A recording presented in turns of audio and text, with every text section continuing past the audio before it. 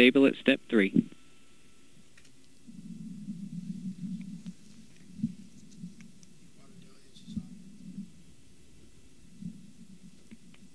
ECS reduced for launch.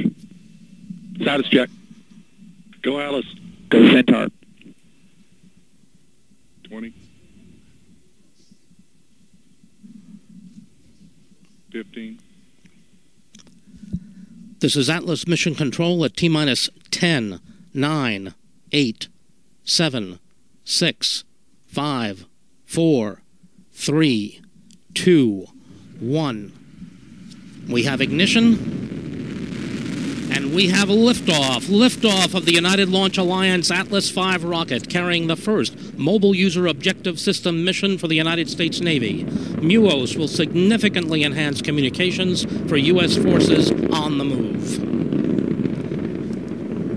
You're now hearing the voice of Marty Malinowski providing launch vehicle ascent data. Let's listen in for mission progress.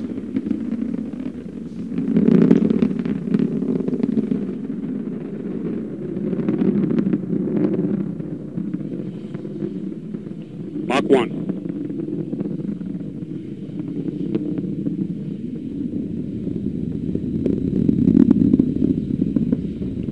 Max Q, vehicle has begun throttling up right on schedule. Engine response looks good.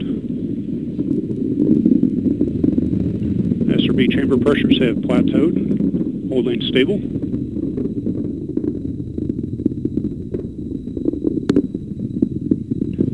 Booster PU is now in closed loop control. Engine response looks good.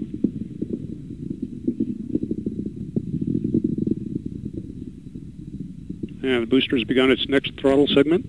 Engine response looks good. Next event will be the SRB burnout. Chamber pressures continue to look good. And we're having SRB burnout.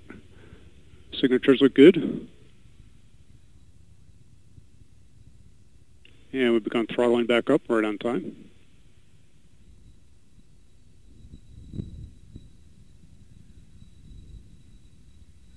And we have jettison solids 1, 2, 3, 4, and 5. Looks like clean separation.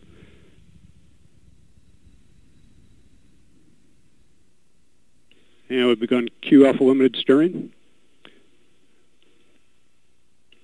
And begun a small roll for thermal constraints.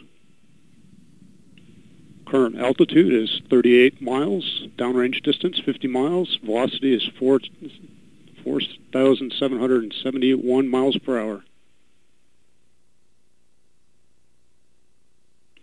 Range track shows the vehicle making good progress right down the middle of the range.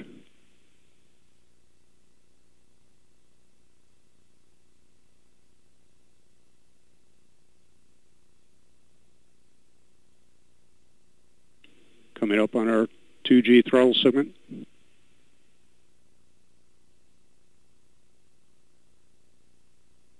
And the booster has begun to throttle to maintain two and a half Gs.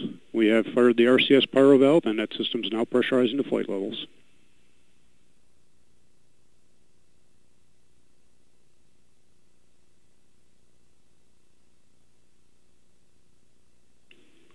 Current altitude is 63 miles, downrange distance 131 miles, velocity is 7,284 miles per hour.